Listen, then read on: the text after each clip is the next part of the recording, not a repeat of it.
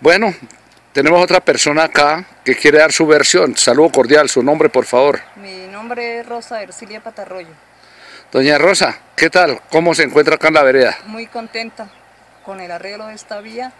Pues de todas maneras nos sentimos muy halagados a la final porque la doctora Luz Amanda nos ha dado que sí podemos y ahorita estamos en el sí se puede.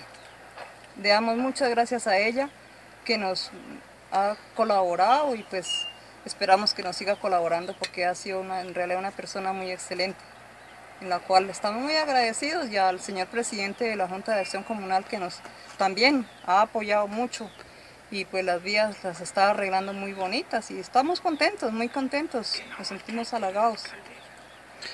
Bueno, ¿qué más eh, quiere agregar usted respecto a esta administración de Paipa rumbo a la transformación?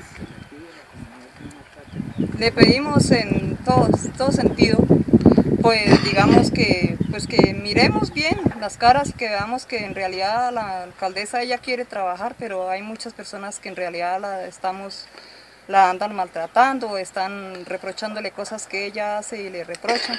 Esperemos que todos nos unamos y que queremos que siga colaborando la doctora Luz Amanda y que vamos para adelante.